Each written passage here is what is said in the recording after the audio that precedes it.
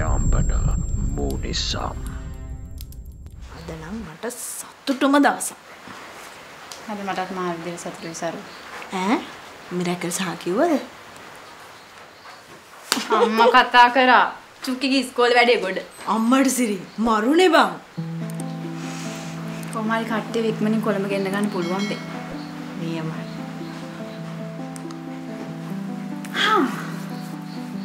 දැන් ඉතින් ඔක්කොම ප්‍රශ්න ටික ක්ලෝස් නේ. ගනු කඩුව එනු සටනට වගේ තමයි. වාලෙඩ සණ්ඩයි පෝඩි. අන්න සන්ඩේ පෝඩ. ඒක තමයි.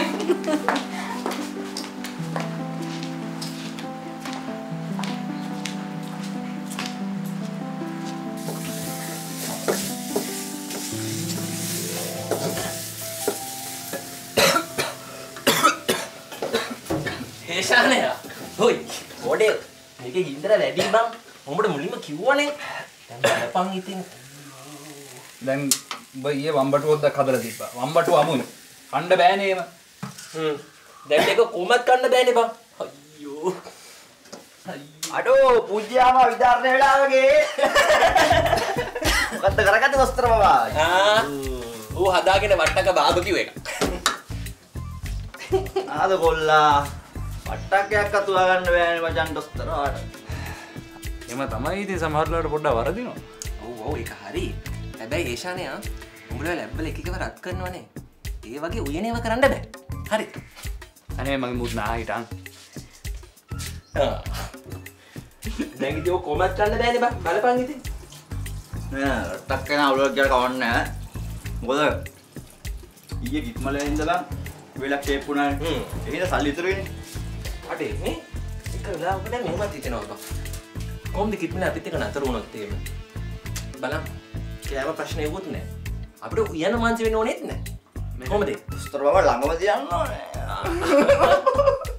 මවුලක් කියවන්න එපා බං. උඹලත් හරියට කරන්නේ නිකන් මේ පාන් කණ්ඩාසාවේ බේකරියක් සල්ලි වලට ගන්නවා වැඩ. ඒක ඇන්ටිවත් බය කරේ. හැබැයි මොකක් හරි ඒකේ පොඩි අනුකූලතාවයක් තියෙනවා ඈ බලපන් බලත් ඔය කරන්නේ අර රටේ ඉන්න අනිත් මිනිස්සු කරන වැඩේම තමයි. බඩ ගැන හිතලා විතරක් මොකෙක් හරි ෆෝම් කරනවා. අන්තිමට ෆුල් නන්නත්තරයි දන්නෙත් නැහැ. කරා කරා කරා අපි දැන් හන්දටම කළේ නැත්ද හරි හරි මේ දැන් ටග්ගල් මොනාරි හොයලා ගනින් ඕක හරි උඹල ඕන මගුලක් කරගෙන ඉන්න. උගෙන ඔස්තාද්ලානේ. ඔයි කොහෙද යන්නේ හා මද්ද ඌ හොඳටම කරලා ගියා ටික අපි කරමු එන අය අවුලක් නෑ මේකට තව වෙනකටයි පස් පාඩ කරන කටුවල් බැටරියක් දාලා මස් කටු දෙක තුනකුත් දාලා අනිවාර්යෙන්ම දාන්න ඕනේ මේ ගස්ලා උඩට දෙක තුනක්. ඉතින් කොහොම සඳකෝමරි ඉන්නවා ඩක්ටර්. අර ඔයාගේ නවල් එකේ වැඩ කටයුතු කොහොමද? හොඳින් කෙරීගෙන යනවා.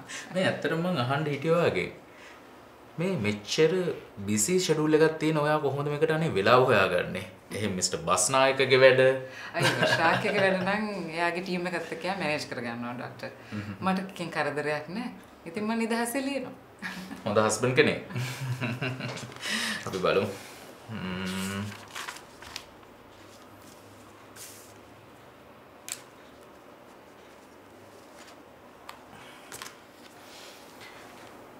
මම ඇත්තමාට කියන්න මේ රිපෝට්ස් අනුව මට ඔයාට කියන්න තියෙන්නේ එතරම් ගුඩ් නිවස් එකක් නන් නෙවෙයි ඒ ඕනම දෙයකට මුණ දෙන්න මං හිත හයිය කරගෙන ආවේ ඩොක්ටර්.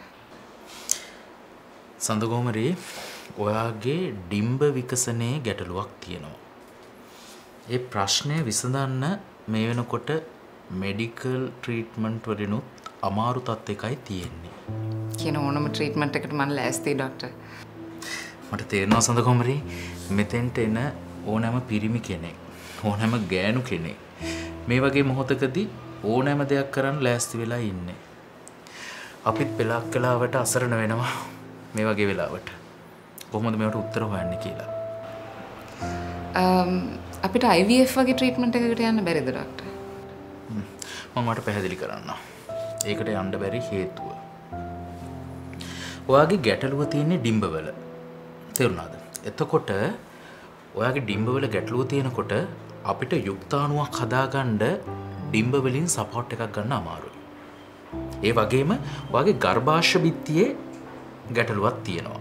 එතකොට අපිට පිටිං යුක්තානුවක් ගෙනල්ලා වගේ ශරීර අභ්‍යන්තරයේ ප්ලාන්ට් කරන්නත් බෑ. ඔන්න ඕක තමයි ප්‍රධානම ගැටලුව. තොට මම මොකද කරන්න ඕනේ ඩොක්ටර්. මම ඔයාට සජෙස් කරනවා ඇඩොප්ෂන් එකකට යන්න කියලා. සඳගෝමරී මේ ලෝකෙ ඉන්නවා අම්මෙක්ගේ තාත්තෙක්ගේ ආදරය හොයන අනන්තවත් අසරණ දරුවන්. මට හිතෙනවා ඔයාට පුළුවන් කියලා ඒ අසරණ දරුවෙකුට අම්ම කෙනෙක් වෙන්න. ඔයාට පුළුවන් සඳගෝමරී මම ඒක දන්නවා. මේ වෙලාව හිත හයිය කරගන්න. මං ගැන නෙමේ මං වරේ ඩොක්ටර්. මට දුක ශාක්‍යගේ ඒ ඩ්‍රීම්ස් මට ෆුල්ෆිල් කරන්න බැරි වෙන එක ගැන.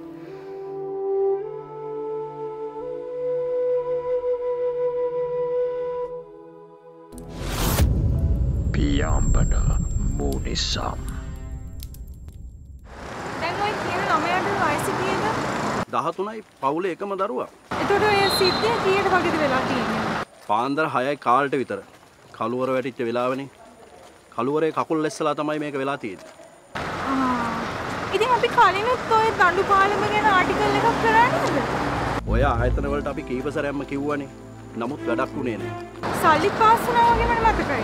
ප්‍රාදේශ සභාවෙන් කියන්නෙත් එහෙමයි. හැබැයි හදුන පාලමක් නෑ. කොන්ත්‍රාත්කාරයට සල්ලි දීලත් ඉවරයි. අපරාධ ඉතින් ඕකෙන් උනේ අර අහිංසක ළමයා නැති වෙච්ච එක විතරයි. ඒකනේ කියන්නේ හැමෝම කරන්නේ බෝලේ පාස් කරන එක විතරයි. ඔය සිද්ධිය වෙන වෙලාවේ ඔය සිද්ධිය බලන්න ආපු ප්‍රාදේශ සභාවේ සභාපති ඇවිල්ලා තින්නේ අලුත්ම V8 එක. V8 එකක් ගන්න කොයිතරම්නම් වියදම් කරන්න ඕනද? ඒ වයින් පාලම් කීයක් හදන්න පුළුවන්? නමුත් ඒක එහෙම වුණේ නැහැ. අන්තිමේදී මිනිස්සු කරේ පොළු අරන් පන්නපු එක. එලෙවට ඉතින් ආයි ගිහින් ඡන්දෙත් දෙන්නේ. මිනිස්සුන්ට ඔප්ෂන් එකක් නෑ නෑ මන්දා. ඔය මිනිස්සු හරියන්නේ නෑ තමයි. නමුත් මිනිස්සු හැමදාම කරන්නේ එකම දේ. හැමදාම ඔය මිනිස්සුන්ව තමයි ගේන්නේ. ඒක වෙනස් කරන්න බෑ. ඒක තමයි. රස්සේක ගුණේක ශ්‍රී ලංකන් කොමඩිය මත්තේ එන්න මත්තේ මට ගෙඩියක් තෝරලා දෙන්න ගම මත්තේ ඔන්න ආ, මේක බලන්න. හොද්දේ මත්තේ රස්සේක ගුණේක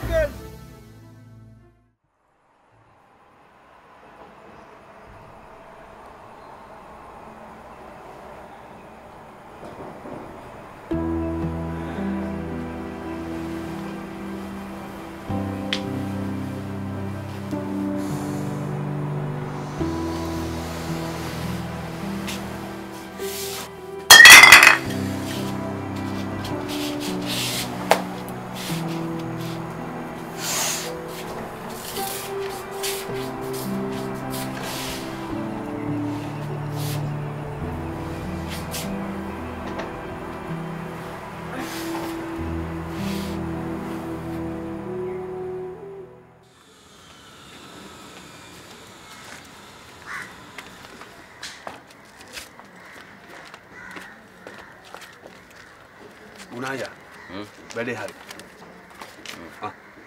බබා.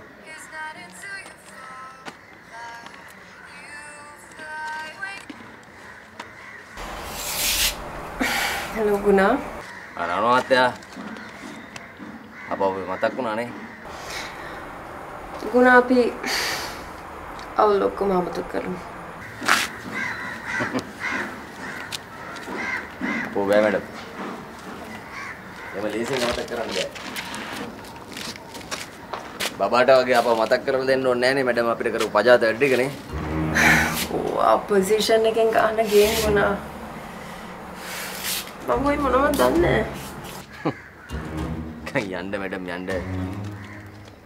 ඔය සමහර එලියට ඇවිල්ලා තියෙන දේවල් මිනිස්ට්‍රි එකෙන් පිට ගියම නෑ ඒවා දන්න එකම ගෑණි මැඩම් විතරයි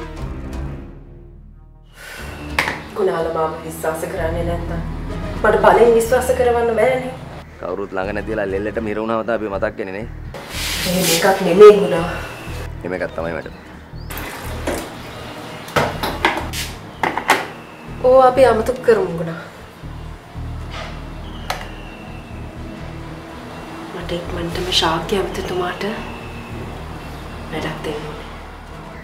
වෙරි සොරි මැඩම් වැඩට වෙන කෙනෙක් හොයාගන්න වැඩම්ල වගේ දැතිමවරුත් එක වැඩ කරලා නිකම් බයිට්ටන එක අපි දෙන්න අතර කළදී මේක මගින් නරක කාලයක්. කරපු දේවල් පස්සෙන් එනවා කියන ඕක තමයි මැඩම් හෙලෝ? ගුණා? හෙලෝ?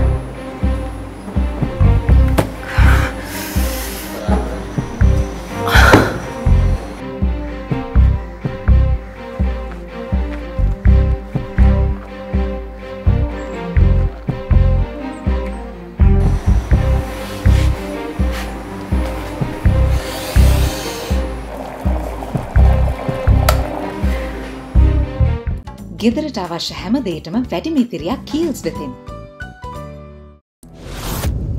පියම්බන මුනිසම්.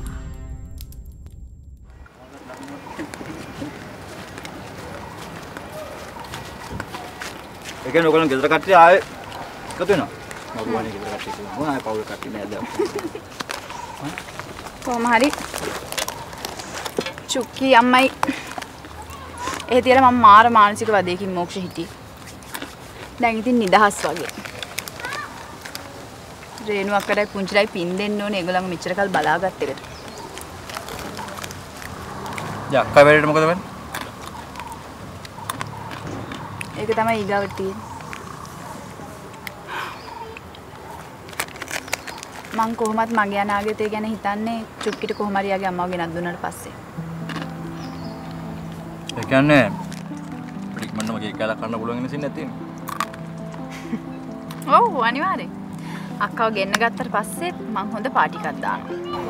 ඒ කියන්නේ මං කිව්වේ මං කිව්වේ අක්කා ආවම පයික්මන්ට බන්දී කියලා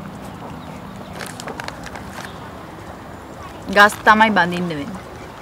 එමු කියන කට්ටිය තමයි ඉක්මනටම බැන්දේ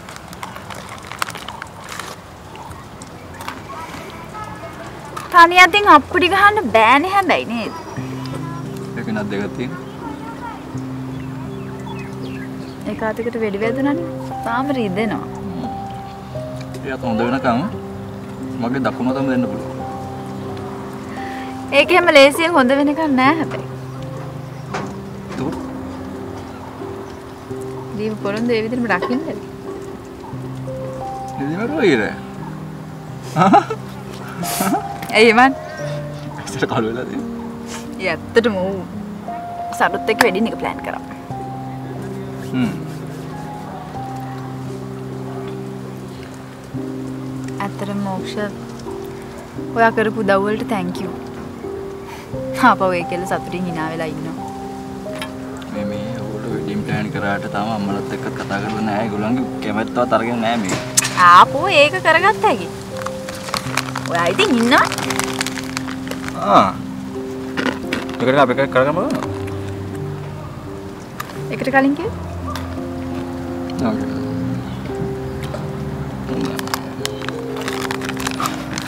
මොනවද කිව්වේ?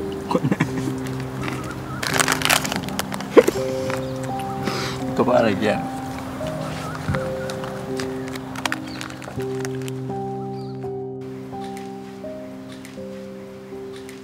කොහෙද ඉන්නේ? බෝඩිමේද නැත්තම් එළියද? මම පොඩි ගමනක් ආවා ආ කාව හම්බෙන්නද? නිත්‍ය හම්බෙන්න අමන්දා හෙලෝ මට ඔය වෙන්නේ නැනේ මට ඔයා වැහෙනවා. ඉතින් කිව්වේ නෑනේ මොකටද කතා කළේ කියලා ම්ම් ඔයා මේ වෙලාවේ තනියෙන් ඉන්නේ. ඔව් නන්ද හරි. එහෙනම් ඔයා ඉඩ තිබුණොත් මේ වැඩේ කරන්නකෝ. ඔයා යනවද සල් ගසන්දිය පැත්තේ? ඒ පැත්තේ යන්න උමනාවක් නම් නැහැ. කියන්න. මොකද උමනාව. ඔයාට මතකද? අර මම ඉන්ටර්විව් එකක් කරා බමුණෙක්ගේ. අර මේ දික්ෂා ගුරුද කවුද මොකෙද දෙකේ ඔව් ඔව් මතකයි. අර අනාගතේ කියන ඩයල් එකනේ. ඕ මරු බමුණා. හොව් ඔව් වගේ මේ කට සල් ගසන්දිය කොමඩු විකුණනවා. සිරාවට අනාගතය පේන කොමඩුත් දන්නේ ඔයාට පුළුවන්ද වෙලාවත් තිබ්බොත් ගිහින් ඒ ඌමද කියලා පොඩ්ඩක් චෙක් කරලා බලන්න. අනිවාර්යෙන් බලන්න අනිවාර්යෙන් බලන්න හරි බලලා කියන්නම්කෝ හරි. ඕකේ එනවා. මං තියනවා. බයි. හරි යමන් හරි බයි